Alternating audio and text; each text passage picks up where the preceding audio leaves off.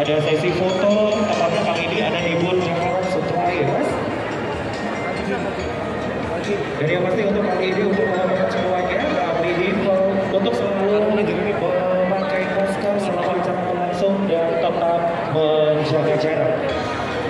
Kita bergeser untuk booth yang kedua. Kali ini bapak bergeser di booth yang kedua berada di booth Mangrove Strip ya